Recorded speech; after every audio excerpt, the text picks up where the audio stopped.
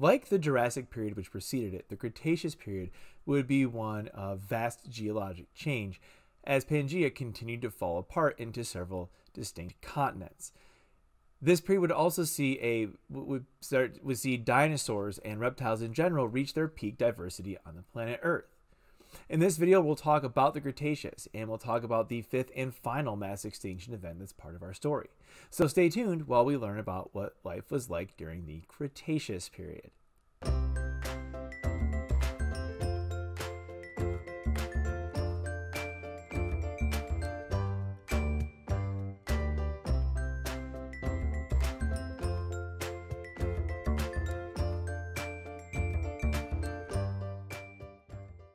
Hi, and thanks for tuning in.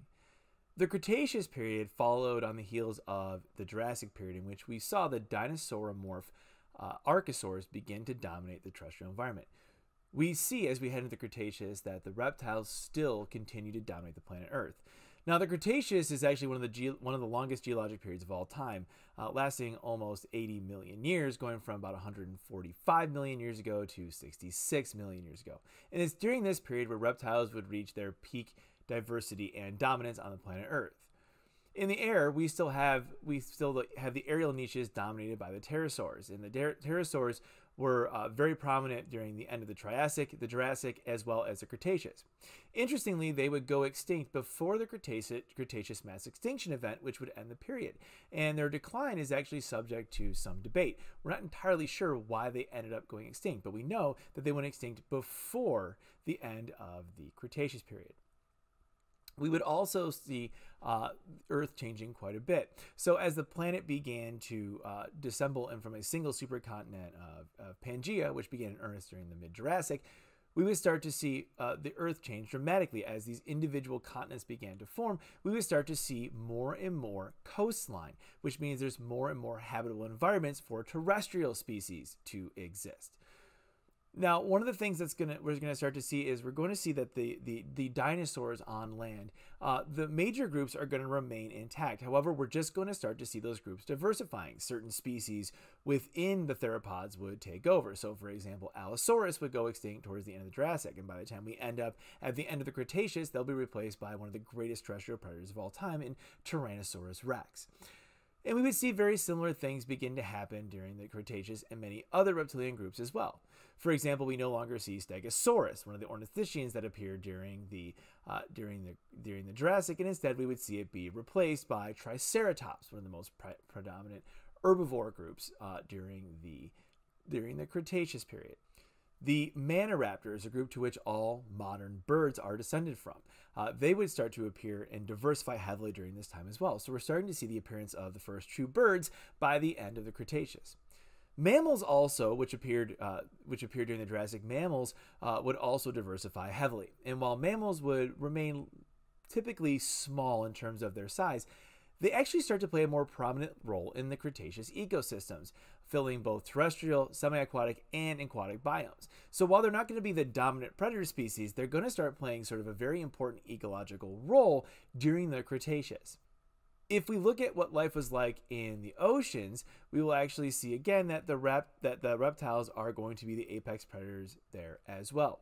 During the beginning to the middle part of the Cretaceous, ichthyosaurs are going to be one of the dominant species, but they go extinct by the by right around the somewhere before the late Cretaceous period. Plesiosaurs, these things that kind of look like the Loch Ness monster is supposed to look like, were dominant throughout the entirety of the Cretaceous. And towards the end of the Cretaceous, we're going to see the appearance of a large bodied reptilian group known as the mosasaurs. And the mosasaurs were just these massive, almost crocodile fish like looking species. Uh, what's interesting about these guys is uh, they could grow up to, they think some of the largest ones were actually over 55, uh, 55 uh, feet in length. So just these massive aquatic predators that existed uh, towards the end of the Cretaceous. Other things we're seeing in the ocean, as we would typically see, the mollusks are mollusks are still heavily diversified. The brachiopods are heavily diversified. Cnidarians, most of the species you expect to be there. We also start to see the rise in prominence of a group of fish known as the teleosts. And the teleosts are important because like 99% of all fish species that exist today, uh, or bony fish species, I should say, that exist today, are teleost fish. And it's during the Cretaceous where they really start to gain a prominent and diverse role in marine ecosystems. We would also see the chondrichthyes begin to diversify, so the cartilaginous fish. So we see the first modern sharks and the first rays appear in the fossil record of the Cretaceous as well. But perhaps one of the most interesting stories to happen, we have to go back to land. Up until this point, life on land was dominated uh, for the past several periods uh, by the gymnosperms, so seed bearing plants. And these seed bearing plants were uh, very important. The main reason why is uh, seed bearing plants uh, were able to survive the more harsh conditions that we saw uh, during the Triassic and the Jurassic. Remember how dry the Earth was for the better part of the Triassic and at least the first half of the Jurassic. Well, seed bearing plants have lots of advantages, and, and, the major one is that the seeds actually provide protection and nourishment for plants uh, when they can't necessarily immediately go into the reproduction phase. So, a seed can land on the ground and persist for a very long time until conditions are appropriate, and then the seed can provide nourishment and protection for that developing plant. This gave the seed bearing plants, such as the early conifers, the cycads, the bennettitales, the ginkgos, all of these species that really rose to prominence during the uh, Triassic and the Jurassic periods to take over. But what we're going to start to see happen during the Cretaceous is the appearance of another group of seed bearing plants known as the angiosperms. Now, angiosperms are so prominent on the planet Earth today that over 90% of all plant species are, in fact, angiosperms. But the first true angiosperms don't appear until the Cretaceous period. Now, what's interesting about the angiosperms is, unlike previous seed plants, angiosperms are actually going to co evolve with their animal pollinators. So, if we look at what's going on, let's look and talk about the difference between the gymnosperms and the angiosperms, the two most prominent groups of seed bearing plants that remain on the planet Earth today. So, if we look at all seed bearing plants, the first thing we're going to notice is they're going to be the first group to really get rid of flagellated sperm. So, the earliest seedless plants were still tied to water to a certain extent because their sperm needed to swim to an egg, which typically got released by the by the female uh, female portion of the of the alternation of generations. But when we get to the the seed plants, those flagellated sperm are going to be replaced by pollen grains. Now, if we look at what pollen dispersal looks like uh, and what the gametes look like in terms of gymnosperms, what we're going to see is that the pollen and, and the eggs are actually going to be retained within cones. So we tend to that so most most existing gymnosperms are going to be conifers. Now the pollen is released by the from the male cones and carried by wind until they can reach the cones in which the female, which the eggs reside. Once those pollen grains actually land there, each pollen grain is actually going to uh, going to consist of two cells, and one of them is going to uh, form a what, what's known as a tube. So this tube cell, upon reaching the female cone, is going to uh, reproduce and produce a tube that uh, that will allow the sperm, which will come from the other cell known as the generative cell. So the generative cells, you have a tube cell and a generative cell in each uh, pollen grain for gymnosperms. The generative cell will actually divide into two sperm cells. Uh, one of them is actually going to make it to uh, fertilize the egg. The other one is actually going to die in the process. So one of the sperm cells dies, and one of them goes on for fertilization. After fertilization, what we'll end up with is a, a zygote, uh, and that will develop into the next generation of seeds. And in terms of gymnosperms, those seeds are always going to be released by the female cone and then carried by wind to reach uh, a new environment where the next generation of sporophytes will actually grow. So remember the alternation of generations. When we look at gymnosperms and with angiosperms, what we're going to see is that the what we're going to see is that we're uh, that the the sporophyte generation is going to be the predominant species. So when you look at a pine tree, for example, or a flowering plant, the body of the plant is the sporophyte generation. When we look at the uh, when we look at the gametophyte generation, it's going to be the gametangia and the sporangia uh, that are actually the gametangia, which are actually contained within the cones in the case of the gymnosperms, and in the flowers in the case of the angiosperms. But perhaps one of the most important keys to success for the angiosperms was their reliance upon animals for both pollination in many cases and in the dispersal of their seeds in other cases.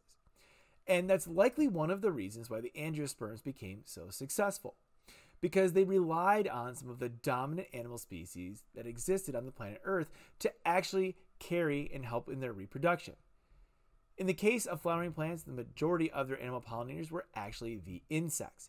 And the insects, which were largely unimpacted by almost every uh, every extinction event that happened, including the ones going to happen at the end of the Cretaceous, might be why the angiosperms were actually so successful as we move through, through the Cretaceous and into the modern era.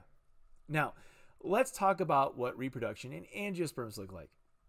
So, if we look at an angiosperm reproductive structure, known as the flower, we're going to see some really cool things.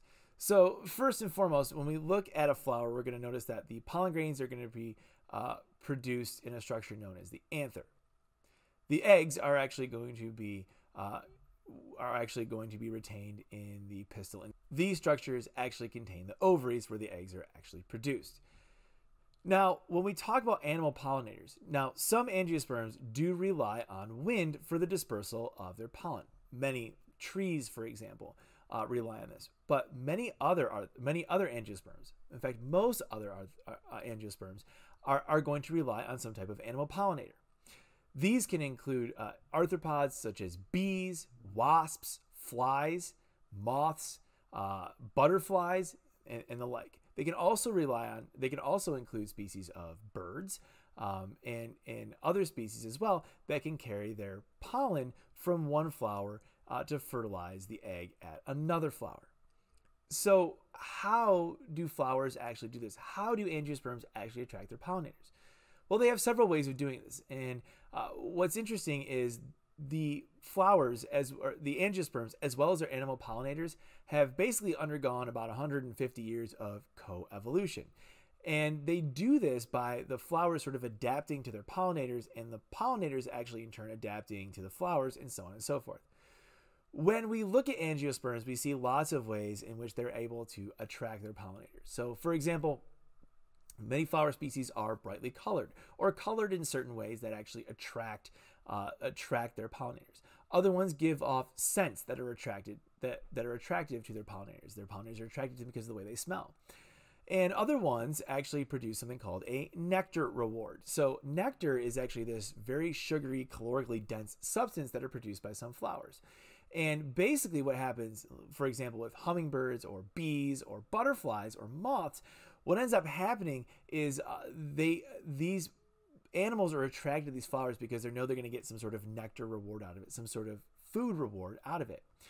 What's even cooler is some flowering plants actually produce nectar guides, which are these weird coloration patterns that we can't actually see with our type of vision.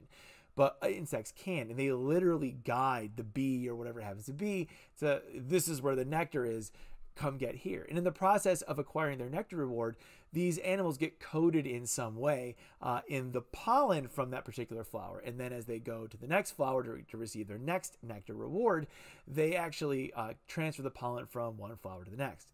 What's interesting about nectar is that it's an interesting study in sort of stabilizing selection because nectar isn't free to produce. It's it's going to require the flower to spend energy, or the plant, I should say, to spend energy producing this particular nectar reward that's calorically dense and requires them to utilize their own energy to produce it. Now, the key is you don't ever want to produce too much nectar because if you produce too much nectar, will you be successful in recruiting your pollinator? Absolutely. However, if they're satisfied by the nectar they get from one flower, then there's no impetus for them to go to the next flower. So you want to produce enough to attract your pollinator, but you don't want to produce so much that they don't need to go to the next one. So there's this sort of balance of producing enough nectar to attract your pollinator, but not so much that they then don't need to go on to the next flower and carry pollen from one to the next. So that's kind of a neat little sort of stabilizing selection process that happens in all flowering plants, particularly those that produce nectar. Um, what's even more interesting is the evolutionary relationship between flowering plants and their pollinators is so specialized and so unique. You can actually predict by the way a flower looks what its pollinator is actually going to be. So, again, these are general guides and not absolute, but for example, if you look at a plant and it produces flowers that uh, that are open mainly during the night, that are pale white or green in color, that have sort of a fruity odor or a pleasant odor, um, you can be fairly certain that what that plant is going to be pollinated by is by a bat. If you look at plants that produce flowers that are open during the day, that are yellow or white or purple in color, that typically have a fragrant, pleasant odor, that are sort of shallow or have a tubular structure or even have like a landing platform, uh, you can be fairly confident that that is a flowering plant that is pollinated by bees. There are even some flowering plants that produce flowers that look, or structures within their flowers that look strangely like the females of certain species. And what ends up happening is the males, uh, thinking that the flower is actually a female of their species, attempt to actually reproduce uh, with that particular female. And, and being tricked, they rub their bodies all over the flower they attract the pollen and then realizing that it's not an actual member of their species they then move on to the next flower that they get tricked into thinking is a, mem- a female member of their species try to mate with that and exchange pollen that way. It's really interesting and it's quite amazing. And this intense relationship between angiosperms and their uh, flower and, and, their pollinators um, really is a testament to how strong the evolutionary forces can be in shaping species but also how to explain why angiosperms have become so successful over the past 150 million years or so. The other thing that's going to happen in a flowering plant is there's going to be the production of a fruit. So once once a once pollination or fertilization actually occurs, uh, what's going to happen is that cell is going to again uh, th- that cell is actually going to begin to divide, and then what happens in many cases is the uh, flower actually falls away, and then the ovaries um, begin to swell as that as the seeds begin to get produced. This swelling ovary is actually what's referred to as a fruit.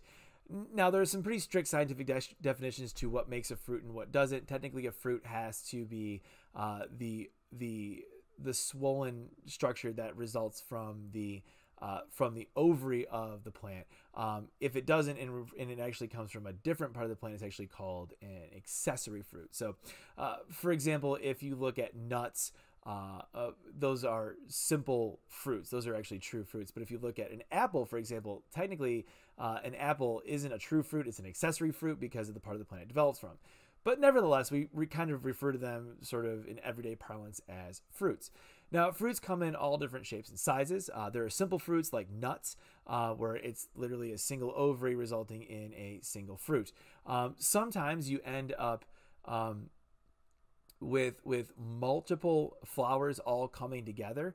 Um, this, so for example, in the case of a pineapple, the pineapple is actually multiple flowers that actually fuse together and result in a multiple fruit if the fruit is the result of another part other than the ovary actually swelling, uh, then you end up getting uh, an accessory fruit. So, a great example apples, strawberries are accessory fruits.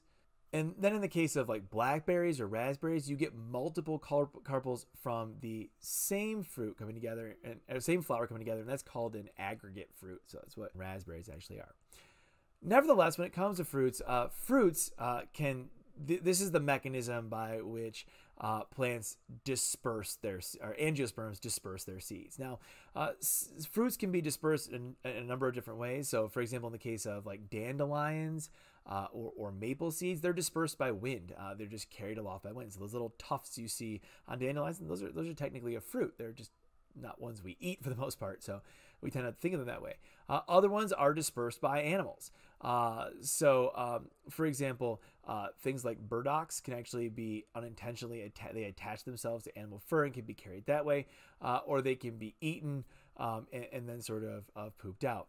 There are other ones that are distributed specifically by humans. So many crops uh, they've been sort of either naturally or artificially selected so that they really can only propagate through the use of human activities.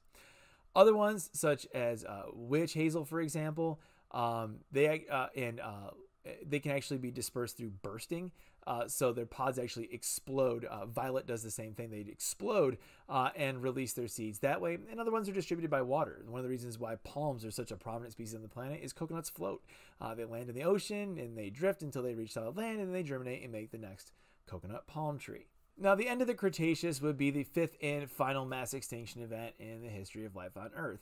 Uh, and this was likely caused by a meteor strike. And uh, there's a lot of evidence to support this hypothesis. Um, the first and foremost is a level of iridium that sort of coats the Earth um, during in the in, as found in the rock strata that marks the end of the Cretaceous. This is something that's typically transported by extraterrestrial bodies such as as meteors. Uh, the other thing uh, is the fact that there is a giant crater off the coast of the Yucatan Peninsula in the Gulf of Mexico. Uh, and this crater, as well as the level of iridium, uh, seem to indicate that the meteor that struck the Earth uh, at the end of the Cretaceous about 66 million years ago was about 10 kilometers uh, in diameter, a fairly sizable meteor. Uh, the KPG mass extinction event, as is known, the K comes from the German spelling of Cretaceous, which is a K instead of a C, and the P and the PG is the Paleogene, which would next mark the next period uh, in in geologic history. Uh, this mass extinction event uh, was pretty substantial, and it would wipe out every single one of the dinosaur-morph reptiles. Um, that roam the earth with really only the birds surviving into the next period it would mark the end of of the mate of the, the mosasaurs and the plesiosaurs that still remained in the ocean.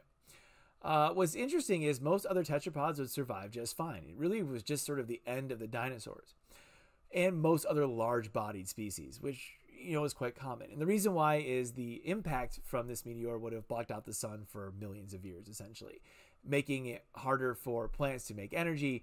If the plants can't make energy, we get reduced plant life. Reduced plant life is going to be the end of the large bodied herbivores, and without the large bodied herbivores, the large bodied carnivores have nothing to feed on.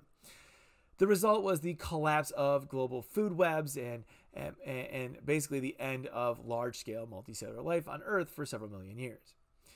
Now, what we're going to see on the other side of the KPG mass extinction event is a world that's going to be dominated by warm blooded organisms. And instead of the reptiles, which had dominated the Earth for almost 200 million years, or the amphibians that had dominated the Earth before it, it's going to be the, the mammals, the birds, and the angiosperms that would dominate the period moving forward, or the next 66 million years, the most recent 66 million years of life on Earth.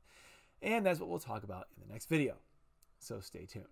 The meteor that struck the Earth to mark the end of the Cretaceous period would be the end of reptilian dominance of the planet Earth. And instead, we're going to see the rise of new species, mainly mammals, birds, arthropods, and angiosperms in the uh, in the next geologic era known as the Cenozoic. The meteor that struck and ended the Cretaceous period also ended the Mesozoic era. And in the next video, we'll talk about what happens in the Cenozoic era, which is the next era to follow, is the era that we're still in today. 75% of all life would be would go extinct at the KPG mass extinction event, and during the early Cenozoic, we'd see the life that remains rebound and begin to fill those ecological niches, just like we've seen in every other mass extinction event. That's what we'll talk about in the next video. Thank you so much for tuning in today. I hope you learned a lot, and I hope to see you at the next one. Thanks.